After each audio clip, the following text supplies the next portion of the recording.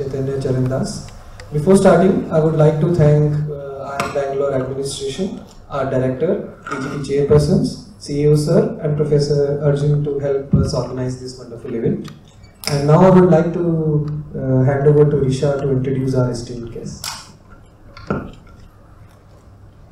good evening, everyone. It is our pleasure to welcome Chaitanya Charan Guruji to IIM Bangalore for today's lecture. As a highly respected author, speaker, and spiritual guide, your insights on harmonizing spirituality and rationality promise to be both thought provoking and enlightening. Your ability to bridge ancient wisdom with modern challenges has inspired audiences worldwide, from elite universities to leading global corporations. We look forward to this talk on the topic Can I be spiritual and rational? And the rich discussion it will spark among our audience. Over to you, Guruji.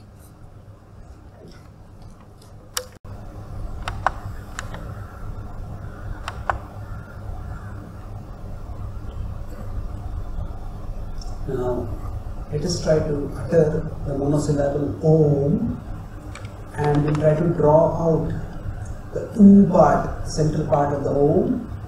And as you're to focus on the sound, let that sound envelop your being, let it come into you and spread throughout you. This is the way we try to bring ourselves in harmony with the universe.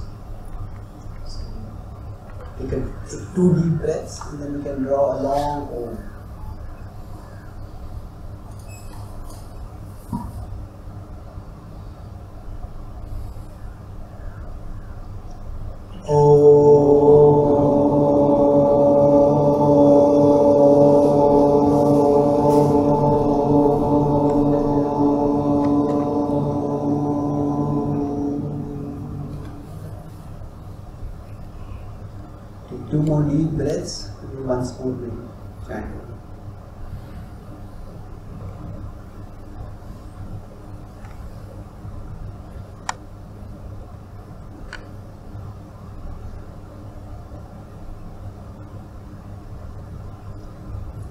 One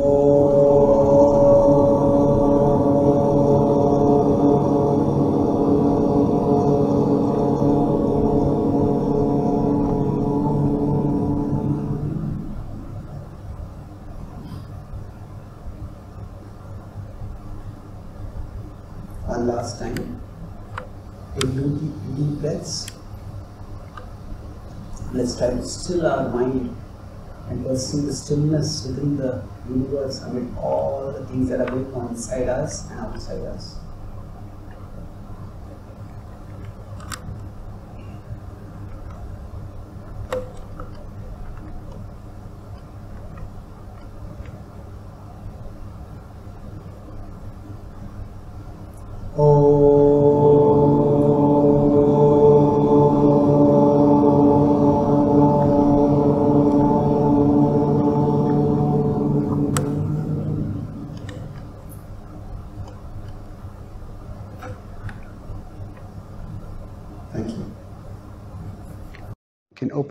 Now if you like. So I'll be using this as a whiteboard to write and draw certain things and explain. I'm grateful to be here with all of you today. And I'll speak initially three points about can we be spiritual and rational? And then we will have question answers from you as well as from our MC. So I'll offer a sip of wisdom. A sip is here in this context. Three points SIP.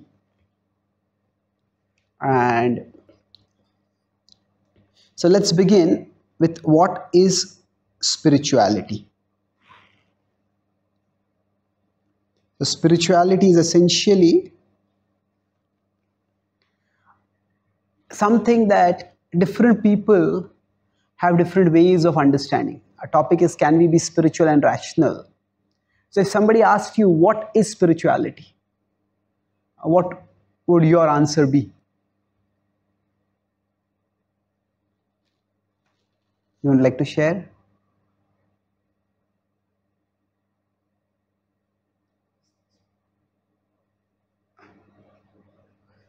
I was in yeah, I just I was in New Zealand and I asked similar question, what is spirituality? So one of the students says, spirituality is something which I like and something which I like not to define.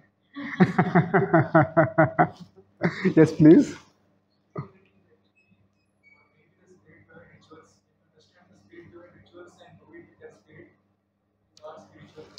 Okay, so we understand the spirit and then we do certain practices, the rituals. Okay, that's a very clear and concise explanation. Thank you.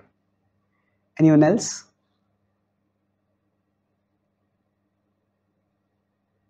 Yes.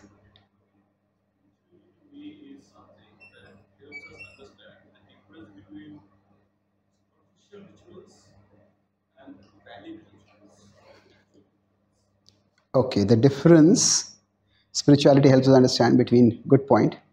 There are superficial, we could even call them as superstitions. And what is the other word used? Actual or? Yeah, those which are actual, beneficial, transformational, whatever we could say. Thank you. Anything else? I believe spirituality is a lifelong journey to explore ourselves and the world around us in better. Yes, spiritual journey of you could say of self exploration, and then it is also not just the self, but also world also because say spirituality helps us to look at our life in a different way. Yes, it gives us a different vision of looking at reality.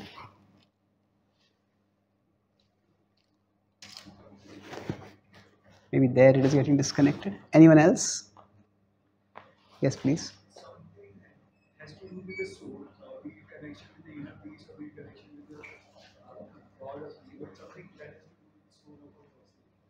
Yeah, it is largely connected with our inner world. So there could be the soul, there could be God. So it is. It's getting-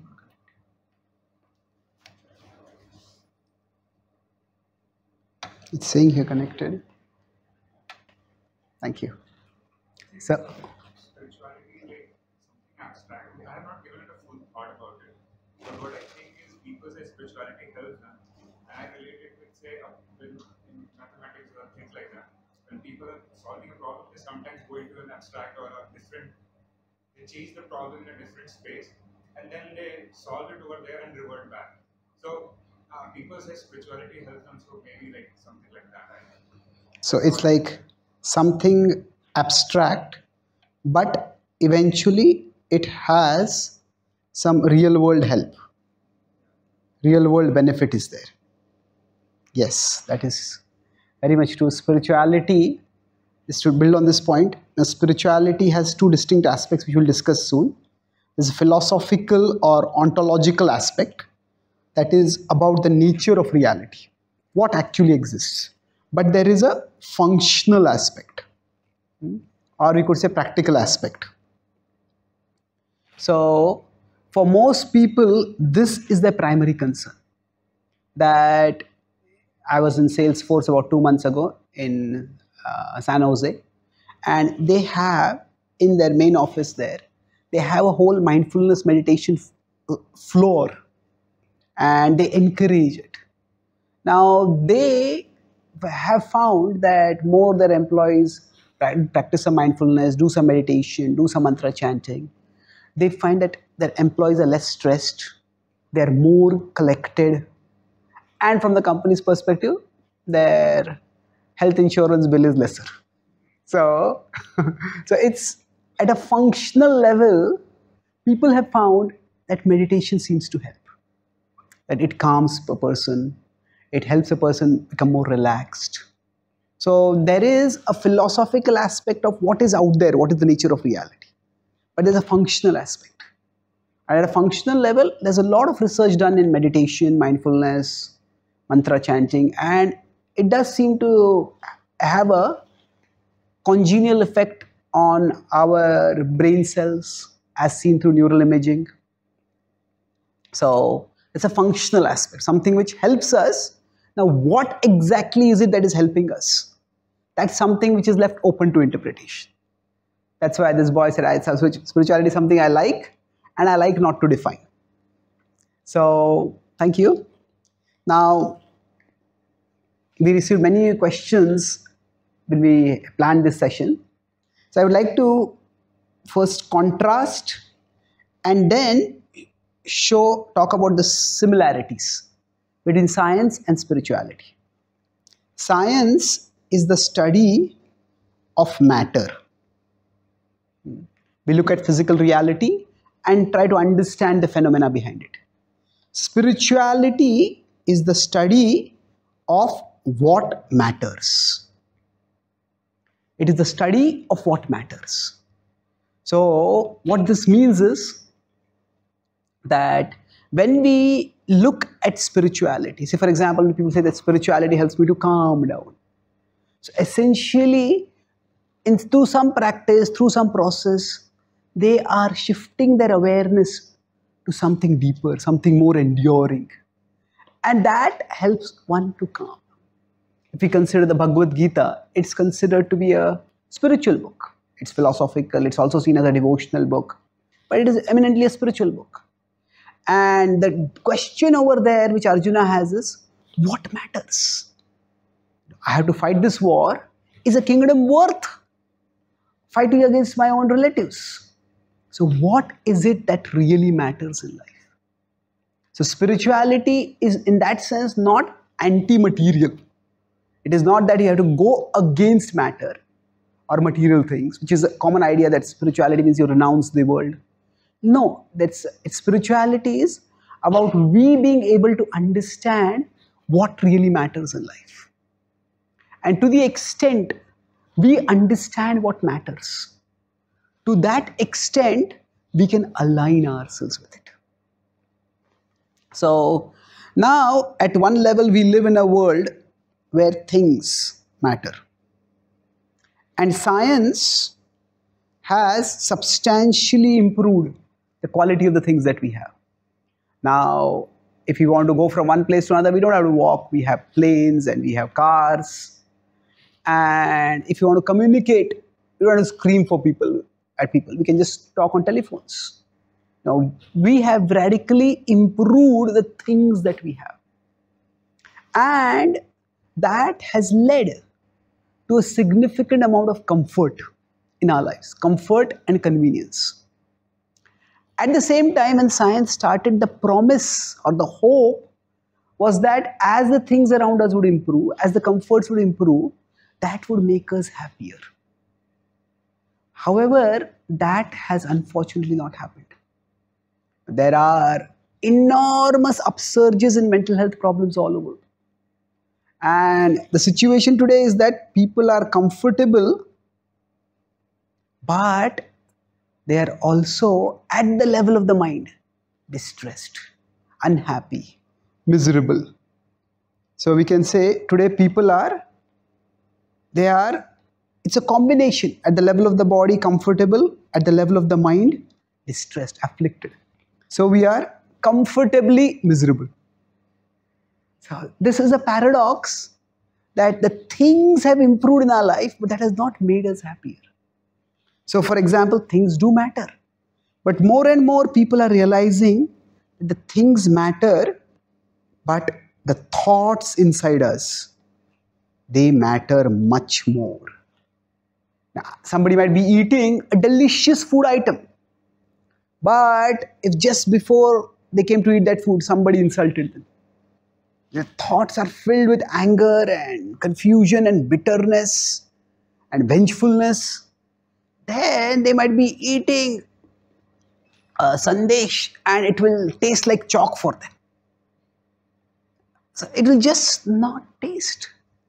So the things outside us matter, but the thoughts inside us matter even more. So that's why now, even in the parts of the world which are being more and more progressive, there is an increasing openness and appreciation for spirituality. Because science can improve our outer world. It is spirituality that can improve our inner world.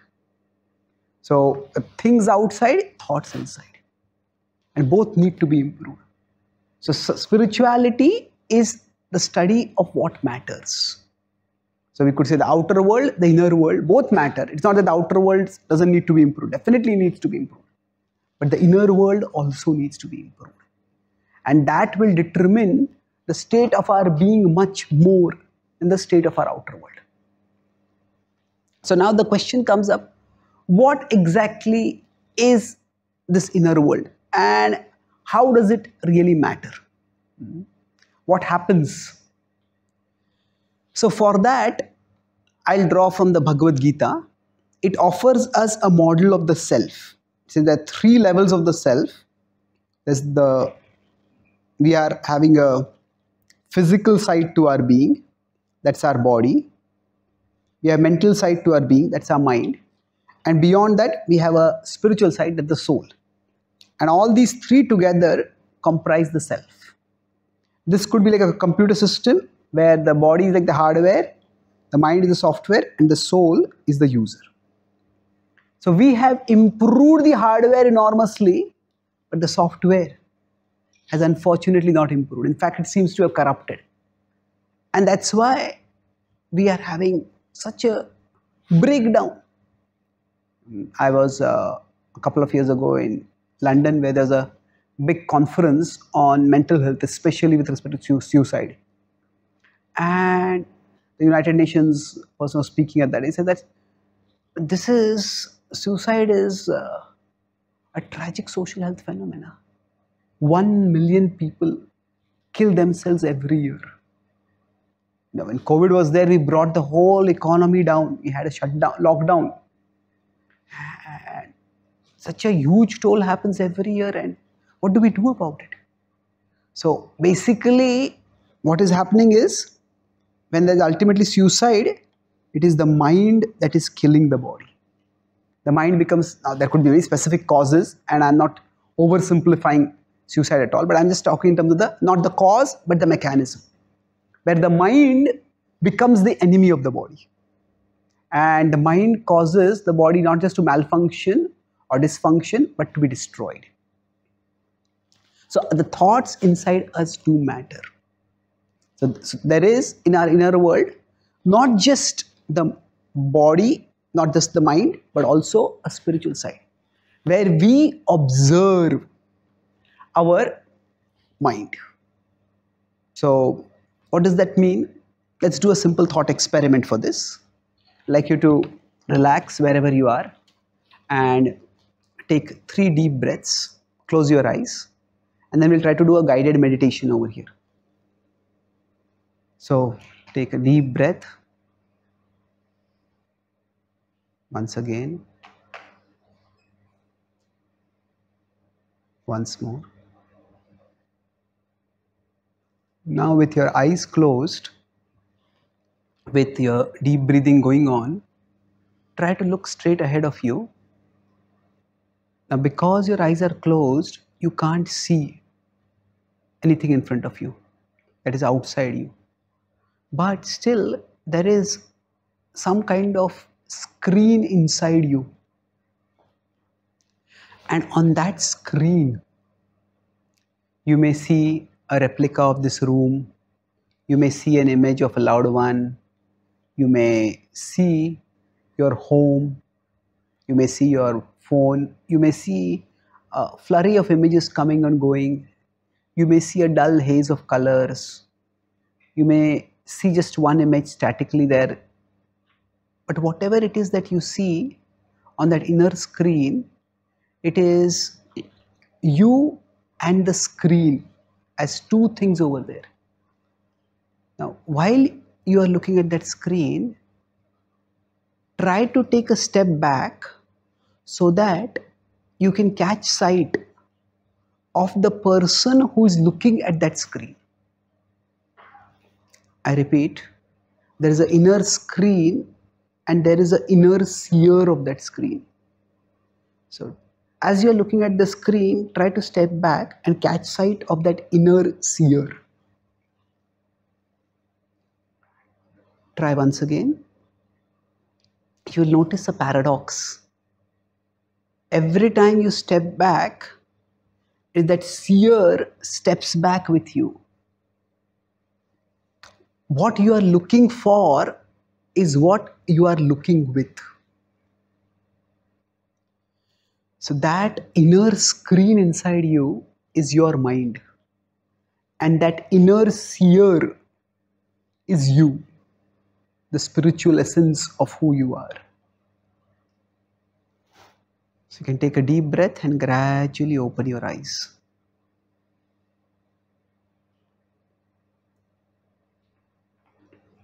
Thank you. So here, essentially, there are these understanding that there are these two levels or layers to our inner world is a game changer in managing our thoughts.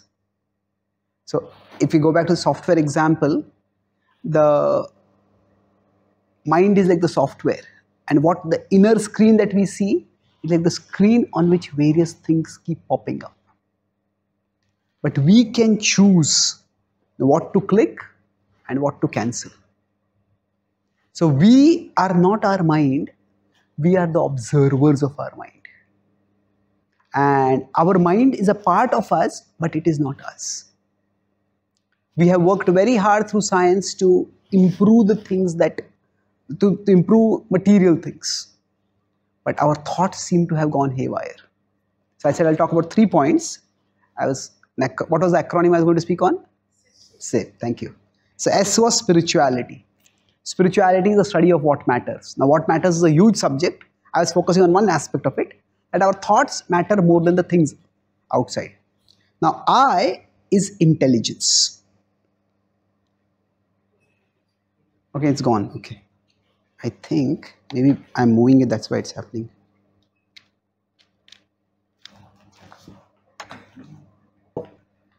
Now, intelligence can have many different aspects to it. We could talk about the I intelligence quotient. But in a spiritual sense, intelligence is the capacity to see beyond the things that glitter to the things that matter. So, when a person is intelligent, there are hundreds of things that assault our senses, that occupy our minds. In fact, we live in what is called an attention economy. Everybody is competing for our attention. So, what is it that I should be giving my attention to? There are things that glitter and there are things that matter. So, spirituality is the study of what matters Intelligence is the capacity to shift our focus from what glitters to what matters. So, generally speaking, there are many things that glitter to us based on our particular desires, our particular conceptions, and of course, the propaganda around us. So, for example, your students. Now, the things that glitter could be okay, I want to go to party, I want to enjoy, I want to do this, I want to do that. Now, yeah, there's some amount of fun is required in life. But if we get caught in that, now you are one of the most elite colleges in the world, you have a great opportunity to have a great life and to make great contributions. And that's what matters much more. So to be able to shift from what glitters to what matters. That is the essence of intelligence. And spirituality has two components to it spirituality is like science in some ways. Science has two components there is theory and there is experiment. So, theory gives us postulations about the nature of physical reality. When Newton saw the apple fall, or some people say felt the apple fall, whichever way it was, he came up with a theory of gravity. So, the theory is one part of it the postulation about the nature of reality. And then there is experiment. Experiment is okay, an apple fell here. Would another object fall? Would it fall in Paris? Would it fall in Melbourne? Would it fall in New York? So that's what is explored. That's experiment. So, like that, spirituality has two aspects. There is philosophy and there is practice. Now, philosophy is what is meant to give us postulates about the nature of reality. Okay, what is the nature of reality? So, in one sense, I already gave one postulate, the model of the self from the Bhagavad Gita. That there are three levels to our being. So, this is a philosophical proposition. So, if we are to know what matters, how do we know it? Okay, we have to have a philosophical aspect and then we have to have some kind of experiment. So, the intelligence is meant to analyze and understand the philosophy. In life, now, one purpose of philosophy, when people say, okay, science has some practical value, even if you learn something technical skill, you learn language that has some practical value, what is the value of philosophy? Well, philosophy helps us to make sense of things that don't make sense. That is the essential purpose of philosophy. There are many things in life which at first glance just don't make any sense. But philosophy offers us postulates by which you can make sense of things that don't make sense. And uh, we could go into various aspects of philosophy, but right now, intelligence is what helps us to move from the things that glitter to the things that matter. And philosophy, it comes from the original philosophy, phili and sophos. It is a love of truth, a seeker of truth. So the philosophical aspect of spirituality gives us a conception, a worldview by which we can be guided toward understanding what matters.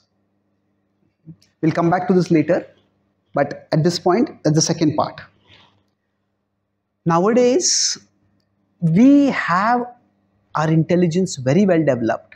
Uh, with every generation, the IQ level seems to be increasing. The video games that kids play now are many times more complicated than what were the games, say, 10 years ago, 20 years ago, 30 years ago. So, at one level, the IQ is increasing, but the attention span seems to be decreasing.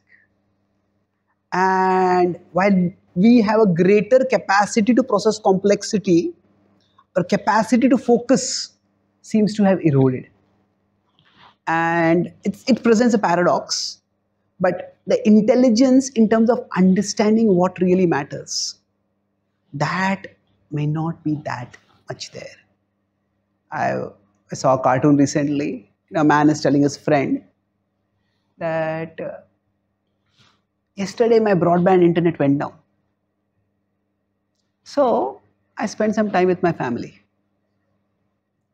They seem to be like nice people.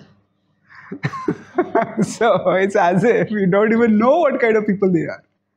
Because of, say, so much pervasion of social media, you know, we might be more aware of what is going on in Chile than what is going on in our own children's life. We might be more aware of what is going on in Serbia than what is happening in our spouse's life. We might be have more aware of what is happening in Niger than what is happening in our neighbor's life. So we have become quite disconnected. What really matters, we are going away from that. It is not that there is no intelligence. Certainly, the development of social media requires a lot of intelligence even the using social media requires certain level of intelligence. But through that process, are we losing track of what matters? So intelligence helps is meant to help us focus on that. And I said last P is in the acronyms P is purification.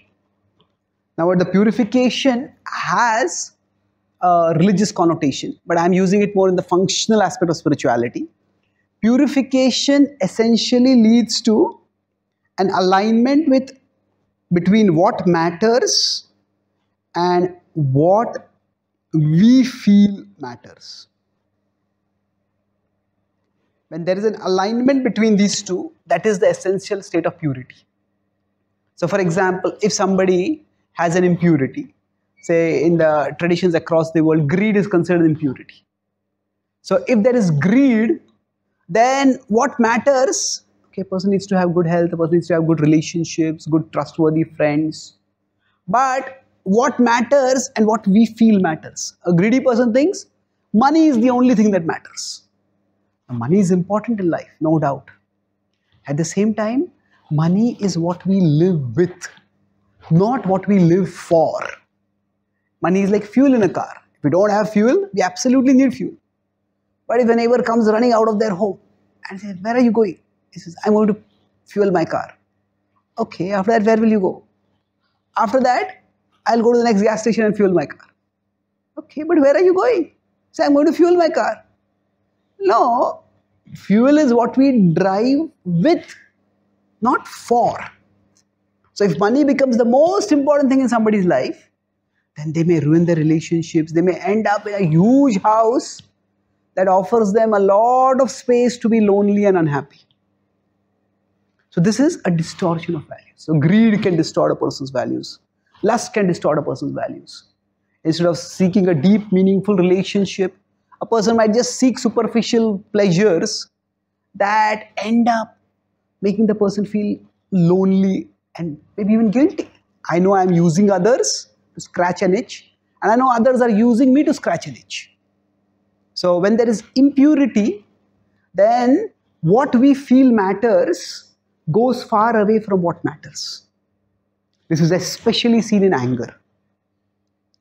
When there is uh, anger taking over us, a relationship that has been built in 15 years can be destroyed in 15 minutes of angry outbursts. At that time, anger makes us believe, proving that I am right and putting you in your place. That's the most important thing. It may not at all be the most important thing.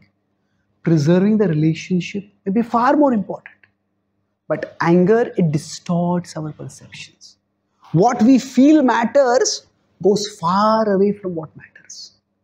And thus we end up ruining relationships, breaking hearts, and then sentencing ourselves to loneliness and self loathing, maybe. So these are examples of impurities. And purification is what enables us to align not just in terms of intellectual understanding, but actual attraction.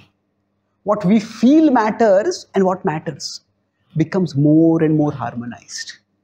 When this happens, the person doesn't have to constantly discipline themselves to do the right thing because they are attracted to doing the right thing. And this is a state where actually a person becomes empowered. Empowered because the inner battle decreases substantially. See, often we, for most of us, there is a constant battle between our values and our desires. There is what I want, and there is what I want to want. What I want, okay, I want to eat, I want to watch TV, I want to enjoy. What I want to want, I want to be fit. I want to be a productive individual. I want to do something meaningful in the world. So there's a constant battle between our desires and values. But when we are purified, this battle decreases. And then all our energy can be focused on what we wish to do, what is important for us. So, practice, now when I said this, I'm talking about practice. Practice is meant to bring about purification. I said spirituality has two different aspects. There's a philosophy is meant to equip our intelligence, and practice is meant to bring about purification. Now, practices can be of many different kinds. Meditation could be a practice, praying could be a practice, uh, worshipping in a temple could be a practice, going to some holy place could be a practice. There are many different practices available. But practices are meant to bring about purification. Now, when these practices are systematized and structured, they often become a religion. And within a religion, there are rituals. now, the nature of life and nature of people, the nature of the mind, we can say, is such that our tendency goes from the internals toward the externals. So, even when the practices that are given within a particular religious tradition for the purpose of self transformation, for the purpose of aligning what matters with what we think matters, we feel matters, those practices may also be done for external purposes. And when that happens, then those rituals start becoming blind, they start becoming pointless. They start becoming meaningless. So in the Gita itself, in the 16th chapter, this possibility is cautioned against. Yajante nama yajyaiste. That one chants mantras centered on the divine, not so that one can connect with the divine, but so that one can show to the world how pious I am, how good I am, how virtuous I am. And nowadays, coming to temples is becoming cool. Mm, so we have a temple in Juhu in Mumbai, which is very close to Bollywood. And many Bollywood celebrities, especially Janmashtami, they come to the temple for darshan. Now, those who come, that's wonderful. But how many of them come to actually have darshan? And how many of them come and then they put them on their Insta and people say, Oh, you're such a nice person, you go to temple also. So, how many of them coming to have darshan and how many of them are coming to give darshan? now, I'm not criticizing anyone particularly, but it is a possibility. So, when things become ritualistic, at that time, religi- rituals they become a social cosmetic. If we wear cosmetic so that we can look better. So, like that, people start doing rituals just so that they can look better in others' eyes. And if the rituals don't make you look better, then what is the point of doing the rituals? Then they become just pointless burdens, they become dead weight. And then they are discarded.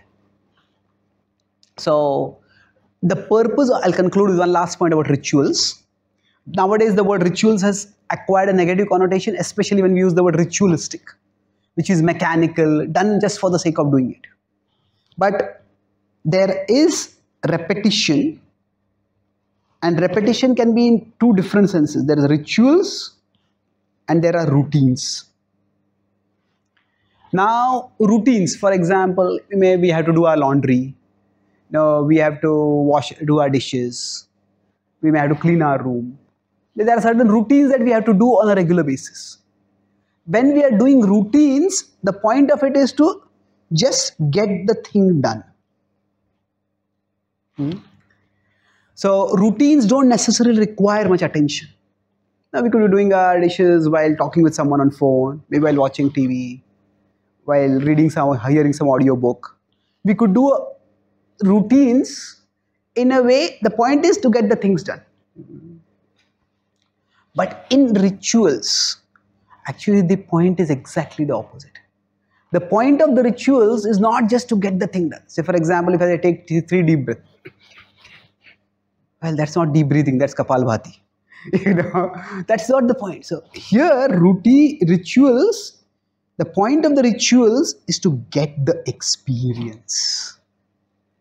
The point of the ritual is to slow ourselves down, to calm our consciousness, and to get the experience. So, rituals, when they are done as spiritual practices, they connect ourselves with a spiritual reality, with the core of ourselves, with the divine who exists inside us. And when that happens, then the calming, uplifting effect starts coming. So rituals, if they are done properly, one of you started by saying that spiritual. So when we do our spirituality properly, rituals are done not just as routines. For all of us, I said that there is the outer world and there's the inner world. So for most of us, the outer world is big and the inner world is small. Okay. Mm-hmm the inner world doesn't we really don't pay much attention to the inner world but when we start practicing spirituality what happens by that is the outer world becomes smaller and the inner world becomes bigger and even if there are ups and downs in the outer world i can't control how people behave but i can control how i respond so at this level we are reactive Hmm? we are just impulsive. We just give in to sometimes our lower impulses. At this level, when the inner world has become bigger for us, even somebody provokes us, no, we won't be reactive. We will be reflective. We will reflect and then we'll respond wisely. So the test of spirituality, there could be many tests of spiritual growth. But one of the tests is how much do the ups and downs of the outer world affect us? That if we are stabler and steadier when we face ups and downs, then that is a fair indicator that we are internally connected with something bigger, with something deeper. And so that's how what spiritual I said spirituality improves our inner world. Science can improve the outer world, spirituality can improve our inner world. So I'll summarize the three points I discussed. So I talked about the SIP as an acronym to, to give a rational explanation of spirituality. So S was what? Spirituality itself. So spirituality is the study of what matters as contrasted with science which is the study of matter. And there we discussed about how thoughts, for example, matter more than things. And we want to improve things but we also want to improve thoughts much more. And then after discussing we discussed about i was intelligence. So intelligence is what enables us to move from the things that glitter to the move to things that matter. So once we understand what matters at a philosophical level then we can move towards it and then there is purification. Purification is where we become attracted to what matters instead of what glitters. So essentially, science has these two limbs theory and experiment. Spirituality has two limbs that is, philosophy, which nourishes our intelligence, and then there is practice which brings about purification. So, purification essentially means that our val- desires start aligning with our values. And, and the way we know that we are spiritually growing is that we will be less affected by life's ups and downs. Whereas the world was very big and everything that happens in the world shakes us up previously. But when we grow spiritually, the world becomes smaller and our inner world becomes bigger. And thus, life's ups and downs can be faced with greater maturity. So, spirituality in this way is internally empowering ourselves to face life's external challenges. Thank you very much.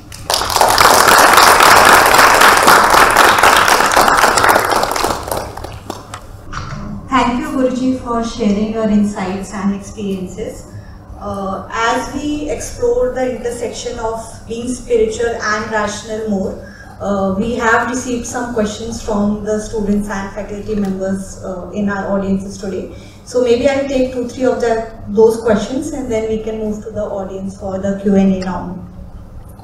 Uh, so the first question is about doubt and spirituality, which is very common when it comes to a topic, especially like spirit, spirituality. So could you share your thoughts on the role of doubt in our spiritual journey and whether doubt serves as an obstacle or a catalyst in our journey of spirituality? It's a very important question. See, doubt is in, there is a sacred text in the broad Vedic canon called the Srimad Bhagavatam, the Bhagavata Purana.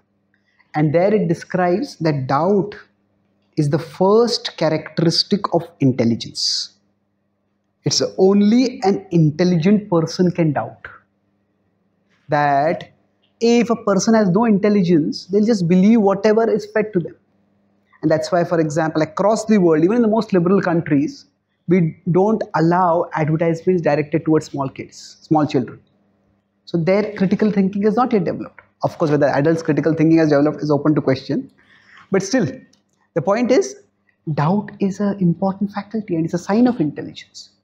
In fact, this whole idea of intelligence being enabled, being capable of taking us from the things that glitter, things that matter. It is only when there is some doubt about the things that glitter. That's only when somebody will think at that time. Is there something more over there? Is there something beyond the glittering things of this world? Is there something more of value? So, doubt in that sense is the foundational beginning of the spiritual journey. That doubt that the visible world that I see, that glitters before me, that there may be more to reality than this, that this is not all of it. So, you could say doubt is foundational. Without doubt, there can be no spirituality. Having said that, once one begins on the spiritual journey, it's an exploration of what is invisible. So when I said we make the, the practice gradually gives us experience. So modern science is experimental, spirituality is experiential. The experience of higher reality, experience of the transformation within us, that's what spirituality is about. Now, while we are going on this journey, there is a role for faith and a role for doubt. So, faith is like the accelerator if we are in a car, and doubt is like the brake. Now, if somebody is driving in a car with only the accelerator, that's dangerous. So, that's like if a, a person has only faith without any critical thinking capacity, then that faith degenerates towards blind faith and the person often goes the car goes on a destructive track we see across the world religion has been weaponized by self-serving corrupt people to to incite common people towards violence. So the people who do not have critical capacity a thinking who do not doubt just they buy into whatever their teachers are telling them. And then that takes the car of their own religious life on a destructive track a self-destructive track or even a world destructive track so faith and doubt are like two parts of a car's driving mechanism so only faith without doubt that is not healthy see the vedic tradition there is shraddha talked about but the beginning of the spiritual journey is jignasa it's not faith, but it's inquiry. Athato Brahma Jigyasa. And that virtue of Jigyasa is seen throughout. The Gita is a call, contains the importance of faith, but Gita also has Arjuna asking logical questions and Krishna giving logical answers. So now we go to the other side. That if there is only doubt and there is no faith, it's like trying to drive a car with only the brakes we will get nowhere, we'll only waste fuel. So, if there is only doubt and no faith, then a person gets nowhere. Now, we can start doubting everything, including our own existence, the existence of people around us, the existence of the world, the existence of meaning in life, and that leads to cynicism. So, you could put two extremes there is only faith without doubt that leads to extremism, religious extremism. On the other hand, if there's only doubt without faith, that leads to cynicism. Now, skepticism is good, but cynicism isn't. Cynicism is where we just deconstruct everything so that nothing has any meaning.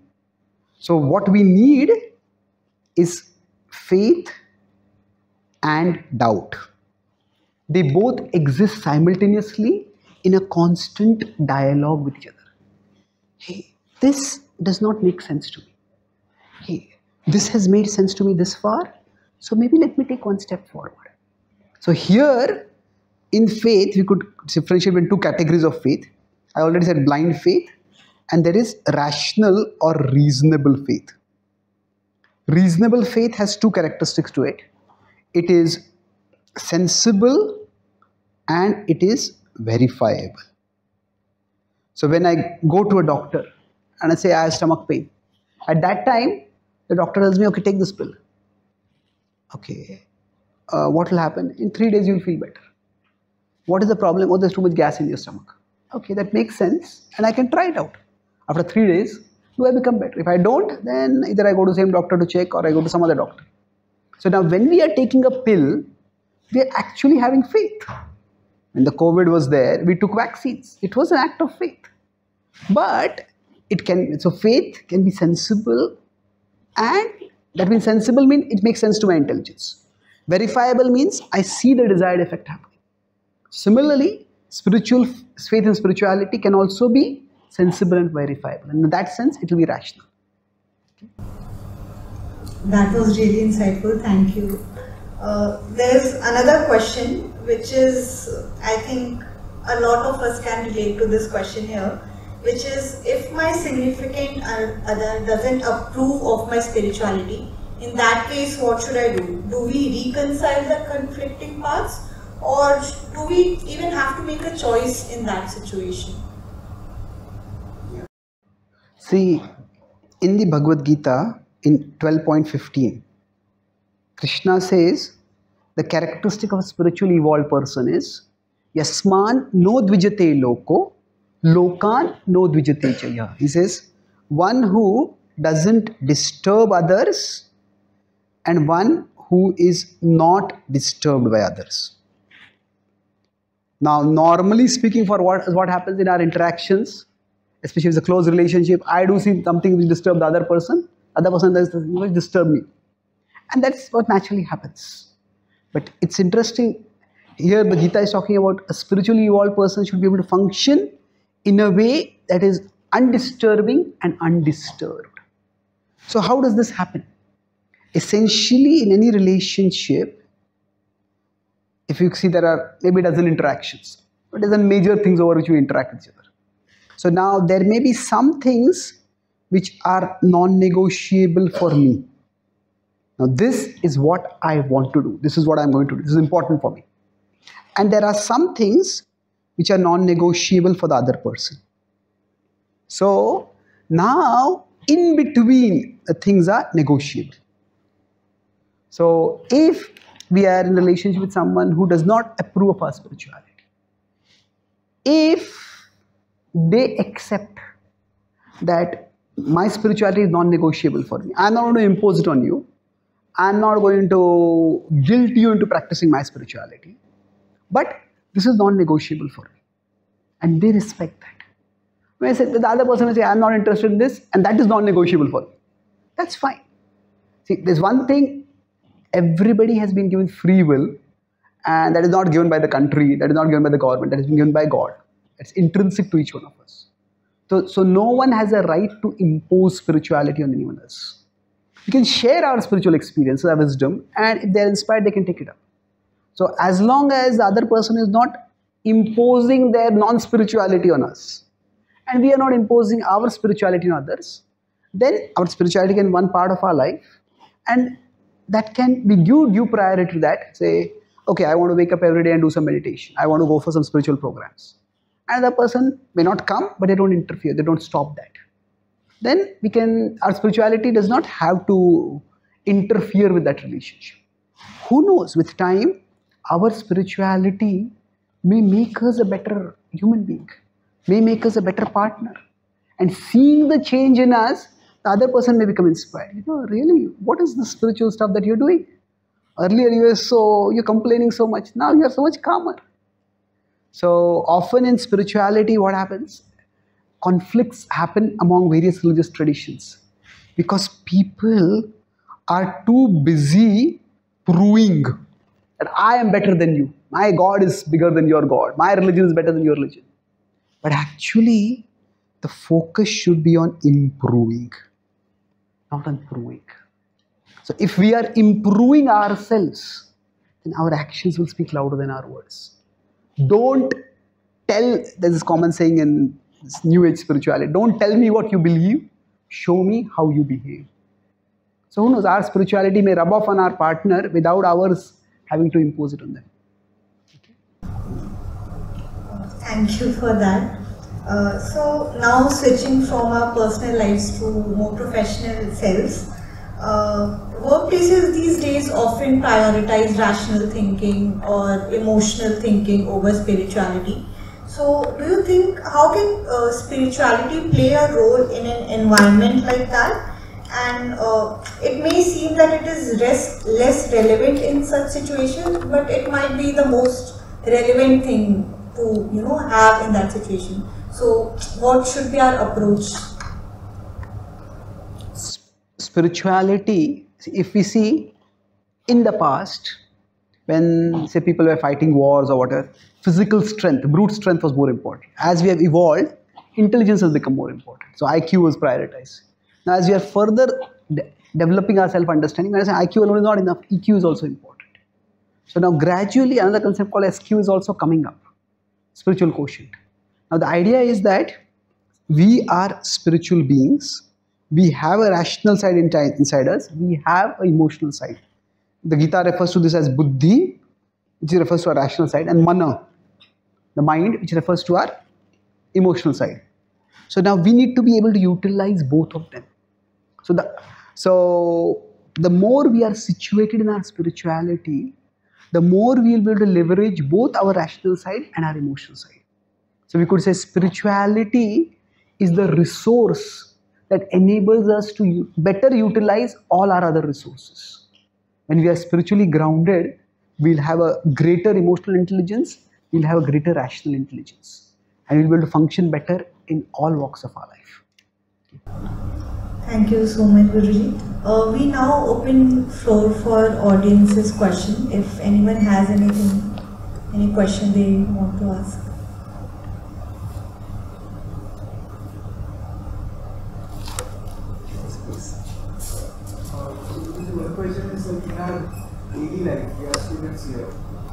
Practice we are not so much involved in let's say spiritual world and we are a bit disconnected so as to say even in our rituals. Now, how do we kind of inculcate these into our routine? What difference can this make in our routine lives? So that we are inclined to you know, practice more of spirituality uh, in our you know, less student life. So, I talked about spirituality as having these two aspects philosophy and practice. So, this is a phase when you're studying and learning. So, one aspect which you could study and learn about is philosophy.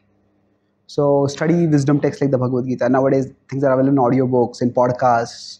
On so try to spend some time hearing this. Even if you spend say 15 minutes in a day, let me read some wisdom text. Now you will find that over a period of time, the amount of wisdom that you will get will be a lot. And then with respect to say meditation, mantra chanting, we did something chanting of Om in our tradition we chant the Hare Krishna mantra.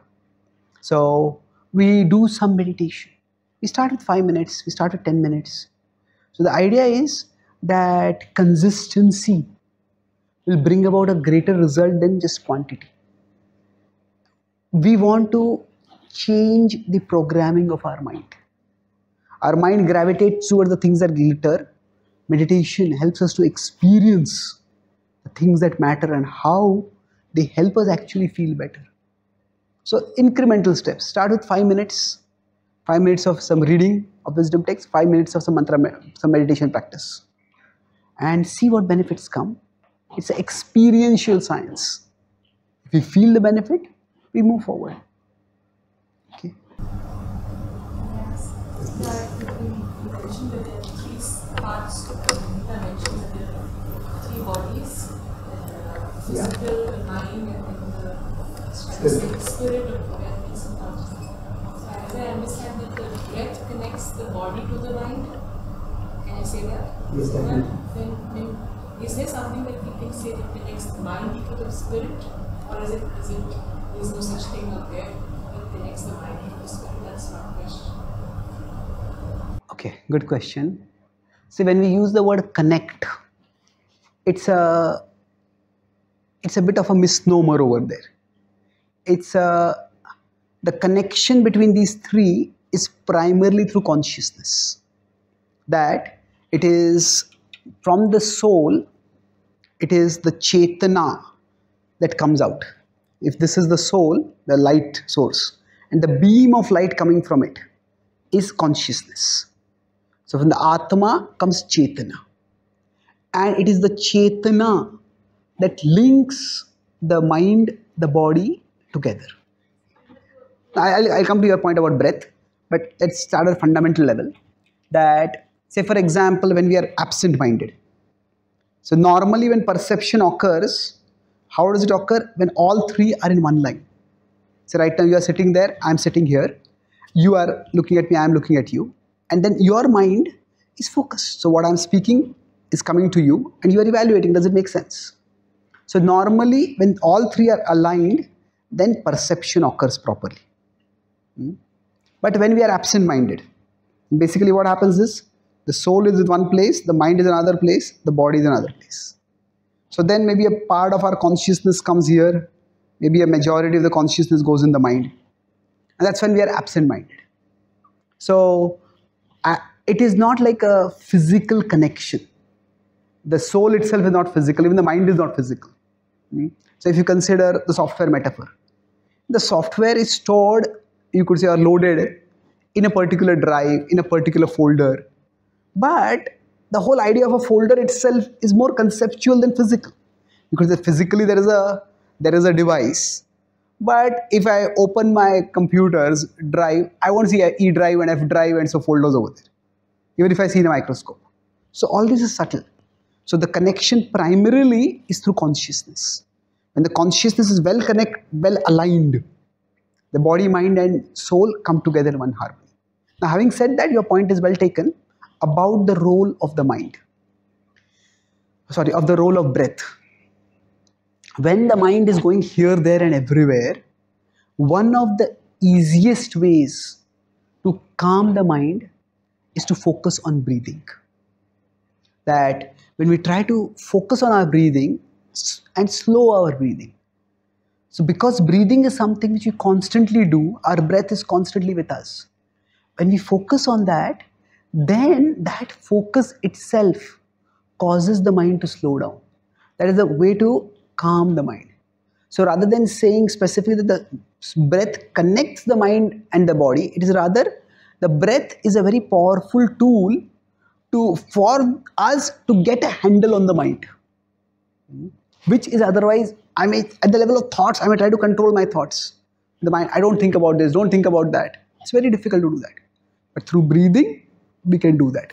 Essentially, we could put these three in a hierarchical level. The soul is here, the mind is here, and the, the mind is in, intermediate, and the body is here. Now, sometimes stormy emotions, desires come in the mind. And when that happens, our mind just gets swept away. So, if that is happening, at that time, there are only two ways. There's a storm and you just can't can't stop the storm. So the only two ways to deal with the storm is to get out of the mind. We get out of the mind by either going down to the body or going up to the soul. So when we go down to the body that means we focus on doing something physical consciously attentively and then although the mind is disturbed if our focus is on something physical then the disturbance of the mind doesn't disturb us so much. That's what happens through breathing. Somebody may have insulted me, somebody may betrayed me. I'm immensely agitated. My mind is agitated. I'm agitated means agitation is there in my mind. But if I start breathing deeply, then the agitation may still be there in the mind, but you can say, I am not in the mind. I have got my attention, I, in terms of my attention, my focus, has come to the level of the body.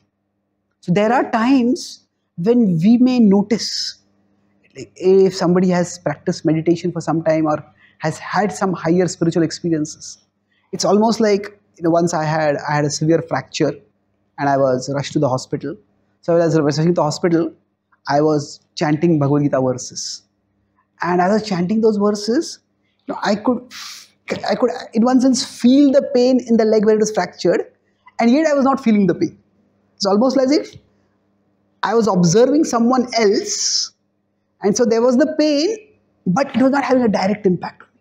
I was concerned, I was going to the hospital, but I was not disturbed, I was not afflicted by it. So what happens is, and similarly at the level of the mind, we know the mind is agitated, but we are not in the mind. We are separate from the mind. Then we don't feel that agitated. So the other way to do it is also to rise to the level of the soul. If somebody has done some sufficient spiritual practices, then they become aware I am a spiritual being. This is the mind, it is disturbed, but I am different from the mind. So, in that sense, access to the mind can be got through the breath. Okay, thank you. Desires are often fleeting. Desires come and go. Motivation is meant to be steadier. Today I feel like, uh, you know, maybe today I want to become an engineer, tomorrow I want to become a doctor, day after tomorrow I want to become a, a cricketer. Those are desires. But motivation is something which lasts for a longer time, or it is meant to last for a longer time. Hmm. And in some ways, desires can be the enemy of motivation. Hmm. Because when we are caught in too many desires, uh, then we cannot have motivation steadily for any one thing. Now, having said that, you can also say that motivation is, is a strong desire, a strong, steady, sustained desire. That is motivation. Hmm. Uh, by, so, in one sense, it is, this is steadier. But desires, another way to look at it is often desires are superficial. Superficial means, oh, I saw someone eating this, I saw someone on TV, this person celebrity, they got in that role, I want to go there. But motivation, it is deeper. Well, the Gita explains that if you want to find steady motivation, we look at two things in our life. It's called as guna and karma. That each one of us has a psychophysical nature. So, guna, when we have the quality for doing something, what feels good to us. Now, feels good not in the sense of drinking alcohol and feeling good, but when I'm doing something, I feel good. Some people like music. When they are they are hearing music, they're learning music, they're performing through music, it feels good. That is the guna. And karma is what we are good at. So there many people may like music, many people may themselves practice some music, but they may not really that good be, be that good at music to be performers, to be make a profession out of it. Could just be a hobby for them. If we can find some area where there's an intersection between these two, what feels good for me and what is good for me, then that could be the area where we can find our lifelong passion. So if we move in that direction, the motivation will be very steady. And that's how those, so uh, those who work in this area, the original idea of Varna, later on it became the caste system which became quite discriminatory. But the original idea of Varna was based on Guna and Karma. That each person has their natural aptitude and their natural ability. And if their role in society, their profession could be aligned according to aptitude and ability, then they would be satisfied and they could contribute in an optimum way. Have free will and how much is predetermined? Do we have a formula for this or is it free will completely or is it predetermined completely? Do you have the free will to ask this question? yeah, it's an important question, in fact. But I'll try to give some broad principles. Hmm? There are, you could say, there are two extreme philosophies. One is the philosophy of Daivavad. Daivavad is everything is destined and nothing is in our hands. So, Daiva or destiny alone, what matters. Now, the other is the philosophy of Karmavad. That our karma alone matters. That we alone determine our destiny. We work hard and we'll succeed. Now, the problem with Daivavad, you could say much of Eastern thought, Indian, not just Indian thought, even Chinese thought to some extent, became gravitated to gravitating toward Daivavad. And Daivavad can lead to passivity. Oh, you know, everything is destined, what can we do about it? It doesn't really help. So, I, whatever I do won't make any difference. So, what is the point of doing anything? Hmm? Now, Karmavad, on the other hand, leads to anxiety. Why? Because if I believe that everything is in my control, that I am the maker of my destiny, that I am the master of my destiny, then if things are not working out, then I may end up taking too much responsibility on myself. And in one sense, the Western world is largely driven by this idea of karmavad. and it has led to a phenomenal level of material progress, but it has led to a significant level of mental regress. So, what happens is we may all experience some loss in our lives. Hmm? Say we may apply for an interview, don't get the interview. We try for some internship, we don't get whatever it is. We all experience losses. Now we could interpret this loss in different ways. I have lost. That's fairly objective. I am lost. I had put all my eggs in this basket. I don't know what to do now, where to go. That is far more disorienting. But the worst could be I am a loser. And if, if you take that, this is toxic. Take that interpretation, this can put people into chronic depression, it can even make them suicidal. So, loss is something which we all have to face in life. And sometimes it may be because of some mistakes we have made. Sometimes it may just be circumstances. I know a couple of friends, they got, they took, they opened a, this is in America, they opened a big, they opened a small business, medium business, just before the pandemic started. They got the land, they invested the money, and the lockdown came. They failed. Now that's just beyond their control. Blaming themselves for them is just uh, being unfair to themselves. So, both of these are unhealthy extremes. To think that everything is in my control, everything is determined by my actions, and to think that nothing is determined by my actions. So, the actual teaching is that there are three broad factors. There is karma and there is daiva. That together leads to phala.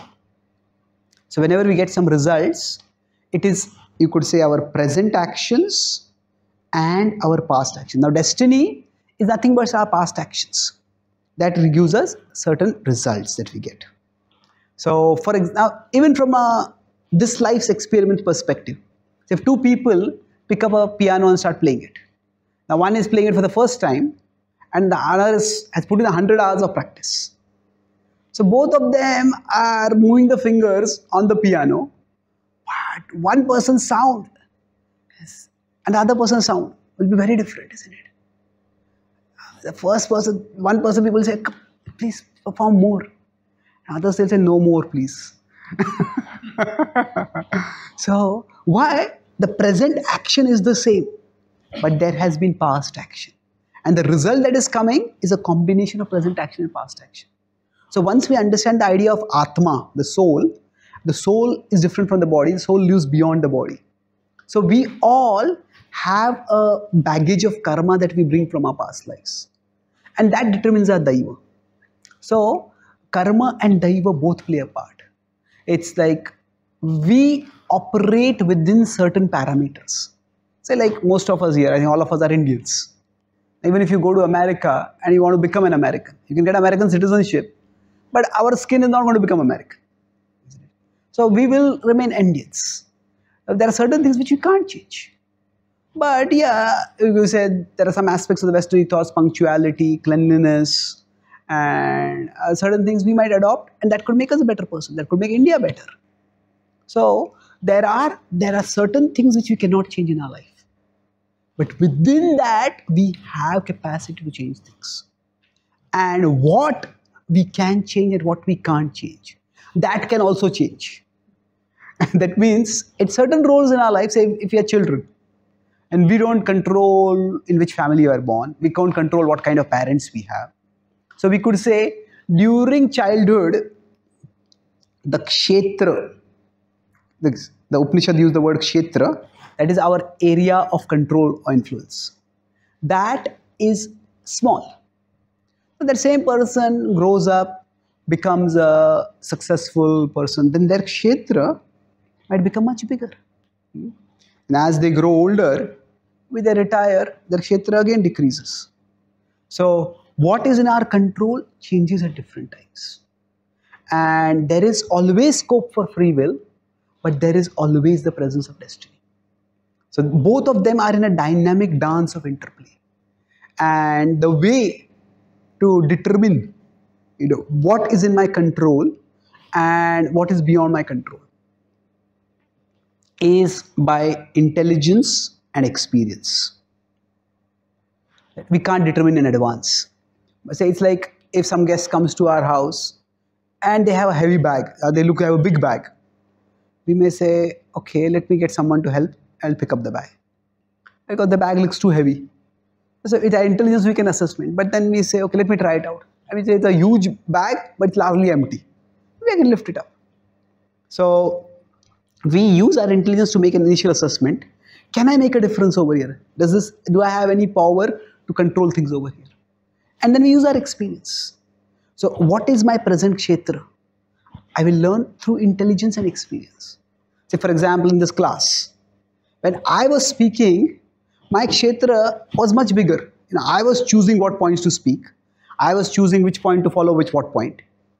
But now, when I'm answering questions, my kshetra is lesser. That the subject is going to be determined by you when you ask questions. And then I have to answer to the best of my knowledge according to whatever question you have asked. So, in that sense, life is like a tennis match. Sometimes we are serving, sometimes we are returning. When we are serving, we have much more initiative and control. You can attack the forehand, attack the backhand, attack the body of the opposite player. So when we are returning, wherever the ball has come, I have to get the back ball onto back into play. So now there are tennis champions who became champions primarily by being great returners. So returning is also no small skill. That means working within the limits that destiny puts us, even if those limits are small. Somebody can work within that, that can also help them grow towards greatness. Okay. Thank you. I would again like to thank you for sharing your wisdom with us on this complex but yet very meaningful topic. Uh, I think now we'll present you with a token of thanks. Once again, I would like to thank you, Guruji, for such an insightful talk. Now, I would like to request Professor Manaswini Bhalla, PGP chairperson, to please come on the stage and felicitate our esteemed guests.